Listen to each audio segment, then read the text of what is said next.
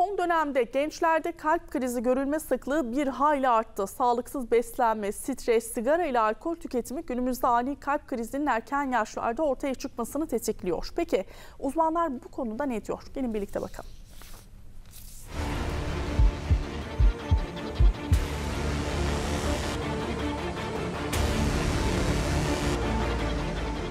Faktörler bir araya geldi.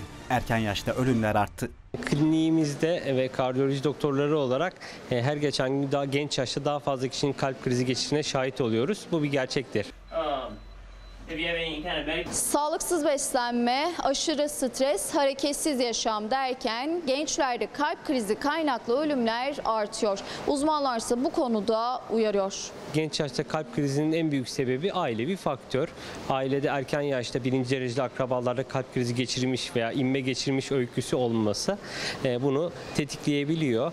Bununla beraber stresin artması, sigara kullanımının artması, alkol, düzensiz yaşamın daha belirginleşmesi, e, uykusuzluğun artmış olması bunlarla beraber çevre kirliliğiyle beraber her geçen gün daha genç yaşta kalp kriziyle karşı karşıya kalıyoruz. Gençlerde kalp krizi riski diğer yaş gruplarına oranla daha düşük. Ancak ölümcül sonuçlar doğurabiliyor. Mesela 30'lu yaşlar altında çok fazla kalp krizi beklemeyiz. Ancak e, son zamanlarda böyle 27-28 yaşlarında e, kalp krizi vakaları görmeye başladık. Bunların büyük bir kısmında ya ekstra bir enerji içeceği iç, içimi olabiliyor, uyuşturucu kullanımı olabiliyor. Bu tarz hastalarda ailevi öykü kadar bu tarz ikincil faktörlerin de çok iyi araştırılması gerekmekte olduğunu düşünüyoruz. Uzmanlar kalp krizine kadar gidebilen damar tıkanıklığı oluşmasının uzun bir süreç olduğunu vurguluyor ve kalp krizi belirtilerine dikkat çekiyor. Öncelikle göğüs kafesi üzerinde bazen böyle büyüklerin de söylediği iman tahtası üzerinde e, sıkışma, fil oturur gibi, öküz oturur gibi tarif edildiği şiddetli bir ağrıyla